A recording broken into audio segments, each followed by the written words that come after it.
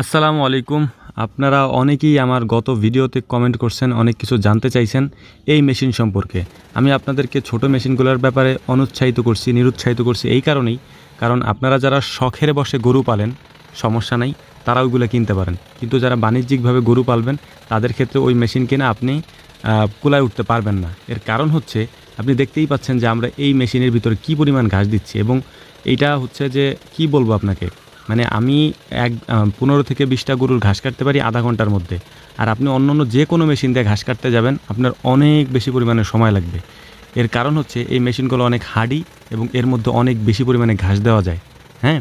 এটা হচ্ছে মূল কারণ। এবার অনেকে জানতে চাইছেন যে এই মেশিনগুলো আমরা কোথা থেকে কিনি। হ্যাঁ?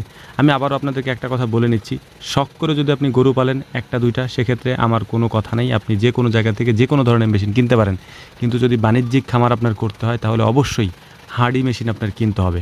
আমরা মোটর ব্যবহার করি না, কারণ আমাদের এদিকে বিদ্যুৎ তেমন একটা থাকে না। অনেক সময় বিদ্যুৎ না থাকার কারণে ওই দিন দেখা যায় যে আমরা গরুরে খাওয়াবো কি? এই কারণে হচ্ছে আমরা এই মেশিন ব্যবহার করি এবং মেশিনের অনেক পাওয়ার থাকে, যে কারণে গাছগুলো কাটতেও সুবিধা হয় আর কি। এটা হচ্ছে ব্যাপার। এখন মূলত আপনাদের অনেকের প্রশ্ন হচ্ছে যে এই মেশিনগুলি আমরা কোথা থেকে নেই?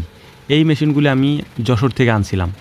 এবং যশোরে গেলে আপনারা অ্যাভেলেবেল এই মেশিনগুলো পেয়ে যাবেন এবং এইগুলো অনেক জায়গায় পাওয়া যায়, সব জায়গায় পাওয়া যায়। তবে আমরা যশোর থেকে আনছিলাম এবং এটা মেড ইন পাঞ্জাব পাঞ্জাব পাঞ্জাবের মেশিন আর কি। আমরা এইটা ব্যবহার করি আর কি। তা আমাদের এটাতে আমাদের বিশটা গরুর ঘাস কাটি। আপনারা দেখতেই পাচ্ছেন যে এখানে কী পরিমাণ ঘাস কাটা হয়েছে কারণ এত অল্প সময়ের মধ্যে এত পরিমাণ ঘাস কাটা, এটা অসম্ভব একটা কাজ অন্য অন্য মেশিনের জন্যে। হুম, আর ঘাসের সাইজটা একেবারে ছোট হয়ে যায়। আর আমরা যেহেতু সারা মাসেই হচ্ছে যে ঘাস খাওয়াই, আবার অনেকে আরও একটা প্রশ্ন আমার কাছে বলছেন, যেটা হচ্ছে যে আমরা কি এই মেশিন দিয়ে খড় কাটি কিনা? আপনারা যারা আগে থেকে ভিডিওগুলি দেখছেন, তারা তো দেখছেনই যে আমরা খড় কাটি কিনা। এটা দিয়েও খড় কাটা যায় এবং খুব সুন্দরভাবেই কাটা যায়। তবে এখানে নিজস্ব কিছু কৌশল থাকে। আপনি যদি করতে করতে অভ্যস্ত হয়ে যান, তাহলে এই কৌশলগুলো আপনি বুঝবেন যে কীভাবে কী করতে হবে। ঠিক আছে? তবে এই মেশিনগুলো আপনারা যদি নিতে চান, তাহলে যশোরে যোগাযোগ করবেন। যশোরে অনেক মেশিনারিজের দোকান আছে, সেই সব দোকানে আপনারা এই মেশিনগুলো পাবেন। নির্দিষ্ট করে কোনো দোকানের নাম আমি বলতেছি না, এবং ওইখানে গেলে যে কোনো দোকান থেকে আপনি এই মেশিনগুলো মেড ইন পাঞ্জাবের পাঞ্জাবের যে মেশিনগুলো আছে ইন্ডিয়ার ওইগুলো নিতে পারেন মোটর দিয়েও চালাইতে পারেন মেশিন দাও চালাইতে পারেন। তবে আমরা মেশিন দিয়ে চালাই মেশিন দিয়ে চালাইলে আর কি এটার গতি থাকে বেশি আর কি। এই হচ্ছে ব্যাপার। তবে ছোটোখাটোগুলা নিই না আমরা, আর ছোটোখাটোগুলাতে অতটা ভালো কাটেও না। দেখা যায় যে যদি নষ্ট হয়ে যায়, ওইগুলো খুইলে আবার ঠিক করতে অনেক ঝামেলা, কিন্তু এইগুলোতে কোনো ঝামেলা নেই। এগুলো সা- বাইরে ইয়া রয়েছে আপনার ব্লেড রয়েছে ব্লেডগুলো যদি একটু ধার কমে যায় খুলে ধার দিয়ে নিয়ে আসবেন, বেশ, শেষ।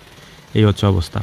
আর খামার করাটা হচ্ছে একটা কষ্টেরই কাজ ভাই, এটা সহজ কোনো কাজ না, একটু কষ্ট করেই করতে হবে, এই আর কি।